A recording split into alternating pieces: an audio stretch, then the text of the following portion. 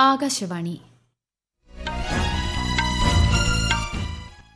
നമസ്കാരം. വാർത്തകൾ വായിക്കുന്നത് കൃഷ്ണ.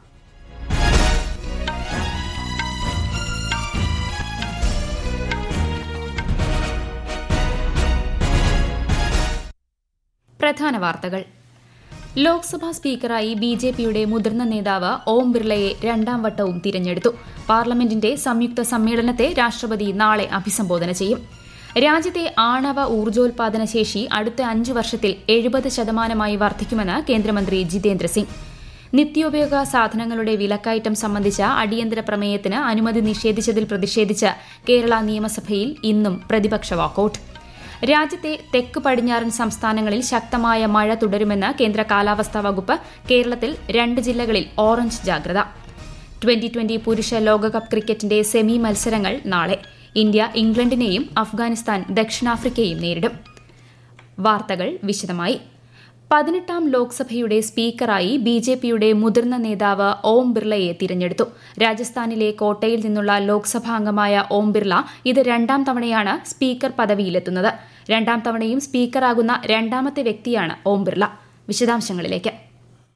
ഓം ബിർളയെ സ്പീക്കറാക്കാനുള്ള പ്രമേയം ശബ്ദ വോട്ടോടെയാണ് അംഗീകരിച്ചത്. പ്രധാനമന്ത്രി നരേന്ദ്രമോദിയാണ് പ്രമേയം കൊണ്ടുവന്നത്. പതിനേഴാം ലോക്സഭയിലും സ്പീക്കർ സ്ഥാനം വഹിച്ച ശ്രീ ഓം ബിർള മൂന്നാം വട്ടമാണ് ലോക്സഭയിലെത്തുന്നത്. സ്പീക്കറായി തിരഞ്ഞെടുക്കപ്പെട്ട ശ്രീ ബിർളയെ പ്രധാനമന്ത്രി നരേന്ദ്രമോദി കോൺഗ്രസ് എം പി രാഹുൽ ഗാന്ധി തുടങ്ങിയവർ അഭിനന്ദിച്ചു. അടുത്ത അഞ്ചു വർഷം ലോക്സഭയെ നയിക്കുന്നതിൽ ശ്രീ ഓം ബിർളയുടെ പരിചയ സമ്പത്ത് ഏറെ ഗുണം ചെയ്യുമെന്ന് പ്രധാനമന്ത്രി പറഞ്ഞു. രാജ്യത്തെ ജനങ്ങളുടെ ശബ്ദത്തെയാണ് ലോക്സഭ പ്രതിനിധീകരിക്കുന്നതെന്നും സ്പീക്കർ എന്ന നിലയിലുള്ള പ്രവർത്തനങ്ങളിൽ പ്രതിപക്ഷത്തിന്റെ എല്ലാ പിന്തുണയും അറിയിക്കുന്നതായും ശ്രീ രാഹുൽ ഗാന്ധി വ്യക്തമാക്കി. മാവേലിക്കരയിൽ നിന്നുള്ള കോൺഗ്രസ് എം കൊടിക്കുന്നിൽ സുരേഷിനെ പ്രതിപക്ഷം സ്പീക്കർ സ്ഥാനാർത്ഥിയായി നേരത്തെ നിർദ്ദേശിച്ചിരുന്നു. News desk Akashvani.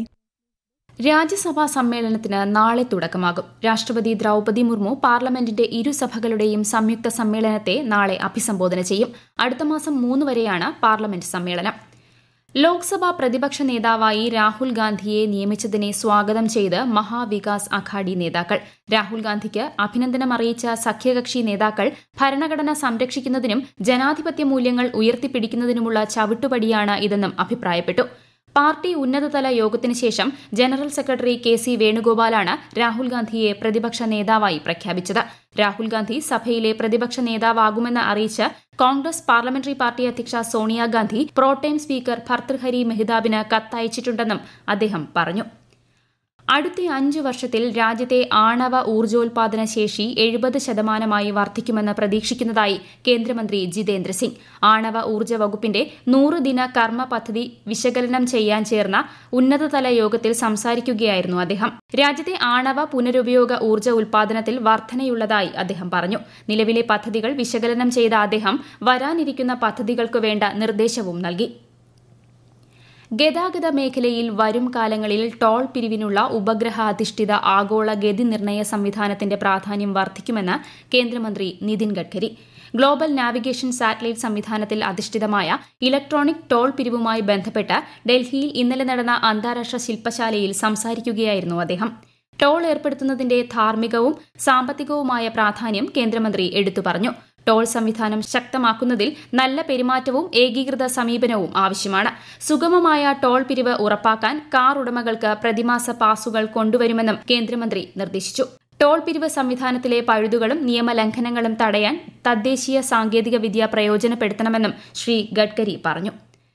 കള്ളപ്പണം വെളുപ്പിക്കൽ കേസിൽ വിചാരണ കോടതി അനുവദിച്ച ജാമ്യം സ്റ്റേ ചെയ്ത ഹൈക്കോടതി ഇടക്കാല ഉത്തരവിനെതിരെ സമർപ്പിച്ച ഹർജി ഡൽഹി മുഖ്യമന്ത്രി അരവിന്ദ് കെജ്രിവാൾ പിൻവലിച്ചു. പുതിയ ഹർജിയുമായി കേജ്രിവാൾ പരമോന്നത കോടതിയെ സമീപിക്കും. കേജ്രിവാളിന് ജാമ്യം അനുവദിച്ച വിചാരണ കോടതി ഉത്തരവ് സ്റ്റേ ചെയ്യണമെന്നാവശ്യപ്പെട്ട് എൻഫോഴ്സ്മെന്റ് ഡയറക്ടറേറ്റ് നൽകിയ ഹർജിയിൽ ഇന്നലെ ഹൈക്കോടതി അദ്ദേഹത്തിന് ജാമ്യം നിഷേധിക്കുകയായിരുന്നു. തുടർന്നാണ് പുതിയ ഹർജി ഫയൽ ചെയ്യാൻ തീരുമാനിച്ചത്. അതേസമയം ഡൽഹി മദ്യനയ അഴിമതി കേസിൽ സിബിഐ കേജ്രിവാളിനെ ഇന്ന് അറസ്റ്റ് ചെയ്തു. കേജ്രിവാളിനെ ഡൽഹി കോടതിയിൽ ഹാജരാക്കിയപ്പോഴായിരുന്നു അറസ്റ്റ്. നീറ്റ് പരീക്ഷാ ക്രമക്കേടുമായി ബന്ധപ്പെട്ട് പരിശോധന നടത്തുന്നതിനായി കേന്ദ്ര അന്വേഷണ സംഘം മഹാരാഷ്ട്രയിലെ ബീഡിലെത്തി. മജൽഗാവ് താലൂക്കിലെ ചില അധ്യാപകരെ സംഘം ചോദ്യം ചെയ്തതായി പോലീസ് വൃത്തങ്ങൾ അറിയിച്ചു. അതേസമയം നീറ്റ് പരീക്ഷാ തട്ടിപ്പിൽ മഹാരാഷ്ട്രയിൽ ഒരാൾ കൂടി പിടിയിലായിട്ടുണ്ട്. സഞ്ജയ് ജാദവിനെയാണ് ലാത്തൂർ പോലീസ് അറസ്റ്റ് ചെയ്തത്. നാല് പ്രതികളിൽ രണ്ടുപേരാണ് ഇതുവരെ അറസ്റ്റിലായത്. ഈ വാർത്തകൾ ആകാശവാണിയിൽ നിന്ന്. ആകാശവാണി വാർത്തകളും വാർത്താധിഷ്ഠിത പരിപാടികളും All India Radio News Thiruvananthapuram എന്ന യൂട്യൂബ് ചാനലിൽ ലഭ്യമാണ്. കൂടുതൽ വാർത്തകൾക്കായി at All India Radio News Thiruvananthapuram എന്ന ഫേസ്ബുക്ക് പേജും at A R news underscore T V M എന്ന എക്സ് ഹാൻഡിലും സന്ദർശിക്കാം.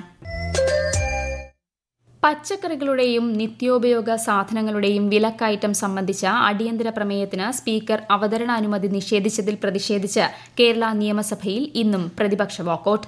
പ്രതിപക്ഷത്തു നിന്ന് റോജി എം ജോണാണ് അടിയന്തര പ്രമേയ അവതരണത്തിന് നോട്ടീസ് നൽകിയത് പച്ചക്കറികളുടെയും നിത്യോപയോഗ സാധനങ്ങളുടെയും വിലക്കയറ്റം മൂലം ജനങ്ങൾ ബുദ്ധിമുട്ട് അനുഭവിക്കുകയാണെന്ന് റോജി എം ജോൺ ആരോപിച്ചു. വിലക്കയറ്റം നേരിടാൻ സ്വീകരിച്ച നടപടികൾ വ്യക്തമാക്കാൻ സർക്കാർ തയ്യാറായിട്ടില്ലെന്ന് പ്രതിപക്ഷ നേതാവ് വി ഡി സതീശൻ പറഞ്ഞു. എന്നാൽ സംസ്ഥാനത്തെ വിലക്കയറ്റം നിയന്ത്രിക്കാൻ ചീഫ് സെക്രട്ടറി അധ്യക്ഷനായ കമ്മിറ്റി രൂപീകരിച്ചിട്ടുണ്ടെന്ന് മന്ത്രി ജി ആർ അനിൽ മറുപടി നൽകി. മന്ത്രിയുടെ മറുപടിയെ തുടർന്ന് സ്പീക്കർ അടിയന്തര പ്രമേയത്തിന് അവതരണാനുമതി നിഷേധിക്കുകയായിരുന്നു. മലപ്പുറത്ത് പ്ലസ് വണ്ണിന് പുതിയ താൽക്കാലിക ബാച്ച് അനുവദിക്കാൻ തത്വത്തിൽ അംഗീകാരം നൽകിയതായി മന്ത്രി വി ശിവൻകുട്ടി. വിദ്യാർത്ഥി സംഘടനകളുമായി ഇന്നലെ നടത്തിയ യോഗത്തിലാണ് ഇക്കാര്യം തീരുമാനിച്ചതെന്ന് മന്ത്രി അറിയിച്ചു. സീറ്റ് കുറവുള്ള ജില്ലകളിൽ സപ്ലിമെന്ററി അലോട്ട്മെന്റ് വരുമ്പോൾ പ്രശ്നം പരിഹരിക്കും. പ്ലസ് വൺ സീറ്റ് പ്രതിസന്ധി സംബന്ധിച്ച് പരിശോധിച്ച് റിപ്പോർട്ട് നൽകാൻ രണ്ട് പേരടങ്ങുന്ന സമിതിയെ ചുമതലപ്പെടുത്തി. ജൂലൈ അഞ്ചിനകം സമിതി റിപ്പോർട്ട് സമർപ്പിക്കും. പ്രവേശനം വൈകുന്നതിന്റെ പേരിൽ ക്ലാസ് നഷ്ടപ്പെടുന്ന വിദ്യാർത്ഥികൾക്ക് ബ്രിഡ്ജ് കോഴ്സ് നൽകി പഠന വിടവ് നികത്തുമെന്നും മന്ത്രി വി ശിവൻകുട്ടി അറിയിച്ചു. സൌരാഷ്ട്ര കച്ച് പടിഞ്ഞാറൻ മധ്യപ്രദേശ് എന്നിവിടങ്ങളിൽ ഇന്നും നാളെയും ഒറ്റപ്പെട്ട ഇടങ്ങളിൽ മഴയ്ക്ക് സാധ്യതയെന്ന് കേന്ദ്ര കാലാവസ്ഥാ വകുപ്പ്. കർണാടകയുടെ തീരദേശ മേഖല തമിഴ്നാട് കർണാടകയുടെ ഉൾപ്രദേശങ്ങൾ തെലങ്കാന ആന്ധ്ര തീരമേഖല വിദർഭ് പടിഞ്ഞാറൻ മധ്യപ്രദേശ് കിഴക്കൻ മധ്യപ്രദേശ് ഛത്തീസ്ഗഡ് എന്നിവിടങ്ങളിൽ വെള്ളിയാഴ്ച വരെയും ഗുജറാത്തിൽ ശനിയാഴ്ച വരെയും മഴ മുന്നറിയിപ്പ് നൽകിയിട്ടുണ്ട്. അതേസമയം ജമ്മു ഡിവിഷനിലെ ചിലയിടങ്ങളിലും പഞ്ചാബ് പടിഞ്ഞാറൻ രാജസ്ഥാൻ എന്നിവിടങ്ങളിലും നാളെ വരെ ഉഷ്ണതരംഗ സാധ്യത നിലനിൽക്കുന്നതായി കാലാവസ്ഥാ വകുപ്പ് അറിയിച്ചു. ഉത്തർപ്രദേശിൽ രാത്രിയുണ്ടായ ശക്തമായ മഴയിൽ ചന്ദൌലി ജില്ലയിൽ പലയിടങ്ങളിലും വെള്ളക്കെട്ടുണ്ടായി. കേരളത്തിൽ ശക്തമായ മഴ തുടരുന്നു. കാസർഗോഡ് കണ്ണൂർ ജില്ലകളിൽ കേന്ദ്ര കാലാവസ്ഥാ വകുപ്പ് ഇന്ന് ഓറഞ്ച് ജാഗ്രത പ്രഖ്യാപിച്ചിട്ടുണ്ട്. പത്തനംതിട്ട മുതൽ വയനാട് വരെയുള്ള പത്ത് ജില്ലകളിൽ ഇന്ന് മഞ്ഞ ജാഗ്രതയാണ്. കേരള തമിഴ്നാട് തീരങ്ങളിൽ കള്ളക്കടൽ പ്രതിഭാസത്തിനും ഉയർന്ന തിരമാലയ്ക്കും സാധ്യതയുള്ളതിനാൽ മത്സ്യത്തൊഴിലാളികളും തീരദേശവാസികളും ജാഗ്രത പുലർത്തണമെന്നും നിർദ്ദേശമുണ്ട്. ട്വന്റി ട്വന്റി പുരുഷ ലോകകപ്പ് ക്രിക്കറ്റ് സെമി ഫൈനൽ നാളെ ആരംഭിക്കും. നാളെ പുലർച്ചെ ആറിന് തരാബയിൽ ആദ്യ സെമിയിൽ അഫ്ഗാനിസ്ഥാൻ ദക്ഷിണാഫ്രിക്കയുമായും രണ്ടാം സെമിയിൽ രാത്രി എട്ടിന് ഇന്ത്യ ഇംഗ്ലണ്ടിനെയും നേരിടും. ഇന്നലെ നടന്ന മത്സരത്തിൽ ബംഗ്ലാദേശിനെ എട്ട് റൺസിന് പരാജയപ്പെടുത്തിയാണ് അഫ്ഗാനിസ്ഥാൻ സെമി യോഗ്യത നേടിയത്. ഇതോടെ ഓസ്ട്രേലിയ ടൂർണമെന്റിൽ നിന്ന് പുറത്തായി. തിങ്കളാഴ്ച നടന്ന സൂപ്പർ എയ്റ്റ് മത്സരത്തിൽ ഓസ്ട്രേലിയയെ ഇരുപത്തിനാല് റൺസിന് പരാജയപ്പെടുത്തിയാണ് ഇന്ത്യ സെമിയിലെത്തിയത്. കോപ്പ അമേരിക്ക ടൂർണമെന്റിൽ അർജന്റീന ഏകപക്ഷീയമായ ഒരു ഗോളിന് ചിലിയെ തോൽപ്പിച്ച് ക്വാർട്ടറിൽ പ്രവേശിച്ചു. തുടർച്ചയായ രണ്ടാം ജയത്തോടെ അർജന്റീന ക്വാർട്ടർ ഫൈനലിന് യോഗ്യത നേടി. ഇന്ന് ലോക ലഹരി വിരുദ്ധ ദിനം. ലോകമെമ്പാടുമുള്ള ദശലക്ഷങ്ങളെ നേരിട്ടും അല്ലാതെയും ബാധിക്കുന്ന ഒരു സാമൂഹിക വിപത്താണ് ലഹരി ഉപയോഗവും കടത്തും. ലഹരി വസ്തുക്കളുടെ വ്യാപാരവും വിപണനവും ഉപയോഗവും അതുമൂലമുള്ള സാമൂഹിക സാമ്പത്തിക ആരോഗ്യ പ്രശ്നങ്ങളെയും കുറിച്ച് അവബോധം സൃഷ്ടിക്കുക ബാധിതരായ ജനവിഭാഗങ്ങൾക്ക് പിന്തുണ ഉറപ്പാക്കുക ലഹരി വിരുദ്ധ പ്രവർത്തനങ്ങളിൽ പൊതുസമൂഹത്തെ അണിനിരത്തുക എന്നീ ലക്ഷ്യങ്ങളോടെയാണ് ഐക്യരാഷ്ട്രസഭ എല്ലാ വർഷവും ജൂൺ ഇരുപത്തിയാറ് അന്താരാഷ്ട്ര ലഹരി വിരുദ്ധ ദിനമായി ആചരിക്കുന്നത്. The evidence is clear invest in prevention എന്നതാണ് ഈ വർഷത്തെ ദിനാചരണ പ്രമേയം. മലയാളി അറബ് സാംസ്കാരിക സംഘടനയുടെ നേതൃത്വത്തിൽ അബുദാബിയിൽ പത്താമത് അന്താരാഷ്ട്ര യോഗ ദിനം സംഘടിപ്പിച്ചു. ഏകദേശം നൂറ്റി അൻപത് പേർ പരിപാടിയിൽ പങ്കെടുത്തു.